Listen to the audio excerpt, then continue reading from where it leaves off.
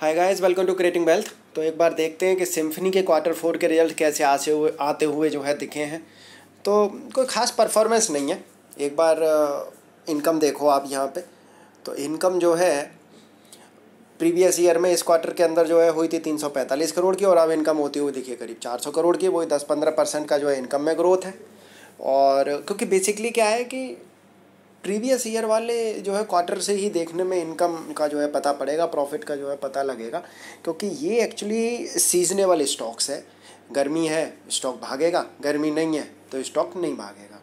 तो यहाँ पे अगर प्रॉफिट की भी अगर बात करें कि प्रॉफिट में कितना गेन है जी तो प्रॉफिट में भी कोई खास गेन नहीं है।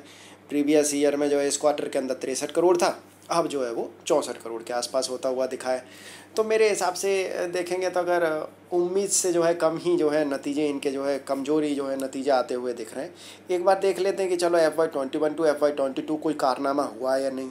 तो यहाँ भी अगर आप देखेंगे तो नौ सौ इकतीस करोड़ की जो है इनकम थी इनकी प्रीवियस ईयर में एफ़ वाई ट्वेंटी वन के अंदर, जो अब one zero seven nine crore की होती हुई दिखी है। तो वहाँ भी दस पंद्रह परसेंट का जो है ग्रोथ है।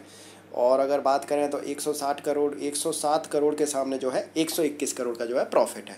तो यहाँ भी देखेंगे तो वही बारह, पंद्रह परसेंट की जो है ग्रोथ है। प्रॉफिट के अंदर भी इनकम के अंदर भी। अब बात कर लेते हैं कि क्या वाकई में आने वाला टाइम जो है, इस कंपनी का अच्छा रह सकता है? देखो कंपटीशन बहुत है मार्केट के अंदर। कूलर वाले सेक्टर के अंदर तो विकट का जो है कंपटीशन जो है, इस समय पर चल रहा है। वोल्टास से लेके और हेवल्स तक जो है, एक बेहतर जो है, अपने निकाल के दे रहे हैं। कम जो है कूलर्स बना रहे हैं। बढ़िया बॉडी जो है, बना के दे रहे हैं। सब कुछ जो है, करके दे रहे हैं। इतना सिम्फनी के जो है, कहीं ना कहीं जो कस्टमर रिटेंशन है, मुझे लग रहा है कि वो कहीं ना कहीं जो है, अब डाइवर्स हो रहा है। और प्रीवियस अगर बात करें कि पिछले कुछ सालों की अगर बात करें, उस समय पर सिम्फनी ने जो है काफ़ी अच्छा खासा जो है काम करके दिया।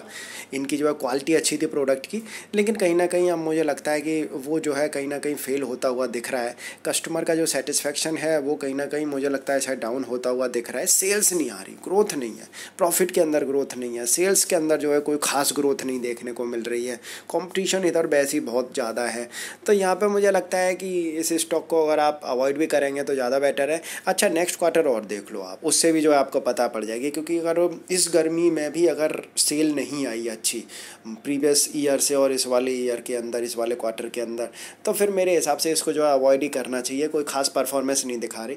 और यहाँ पे एक बार देख लेते हैं कि क्या इन्होंने जो है इस बार डिविडेंड दिया। तो छः रुपये के आसपास का जो है डिविडेंड भी दिया है इस बार। तो ठीक है डिविडेंड से ही पेट भरने का जो है काम चल रहा है इस समय पर तो डिविडेंड भी है छः रुपये का। और यहाँ पे एक बार चार्ट पैटर्न देख लेते हैं बेसिकली कि चार्ट पैटर्न कैसे जो है बने हुए हैं इस स्टॉक के। स्टॉक ने हालाँकि थोड़ा बहुत मूवमेंट तो दिखाया है। नौ सौ रुपये के आसपास स्टॉक था तो नीचे लो वहाँ से तो देखेंगे एक अच्छा खासा जो है मोमेंटम इसने दिखाया है। ये देखें हम। मैक्सिमम चार्ट पैटर्न अगर आप देखेंगे तो स्टॉक देखें कब से नहीं चल रहा। दो हज़ार पंद्रह से देखेंगे स्टॉक ने अभी तक जो है कोई ख़ास मोमेंटम दिखाया ही नहीं है। तो यहाँ पे आप, आपको, मुझे तो थोड़ा मुश्किल लगता है कि आप ये दोबारा से जो है ऊपर जाएगा, फिर बढ़िया जो है लाइफ टाइम हाई बनाएगा, ऐसा कुछ करेगा बिला बिला कुछ अलग, अगर कोई चीज़ और अगर हो जाए, वो बात थी वो बात चीज़ अलग है। लेकिन फ़िलहाल तो मेरे हिसाब से जो है इस स्टॉक को अवॉइड ही करने में फ़ायदा है। एक साल का रिटर्न मैं आपके सामने रख दूँ माइनस के पाँच परसेंट का जो है रिटर्न है इसका। फाइव ईयर्स में भी जो है नेगेटिव रिटर्न ही जो है इस स्टॉक ने दिया है। अब नीचे अगर सपोर्ट की बात करें तो नीचे सपोर्ट जो निकल के आ रहा है, वो है करीब वही हज़ार रुपये के आसपास का। हज़ार अगर फिर से ब्रेक होगा, फिर से और जो है ये डब्बा गोल होता हुआ दिखेगा। नेक्स्ट क्वार्टर अगर अच्छा नहीं गया तो फिर तो मुझे लगता है श्योरली इसका डब्बा गोल जो है होने की बिल्कुल जो है चांसेस बनते हुए दिख सकते हैं। अपना भी एनालिसिस हालाँकि एक बार ज़रूर कर लें, उसके बाद इस स्टॉक को बाई सेल या होल्ड करें। Thank you for watching this video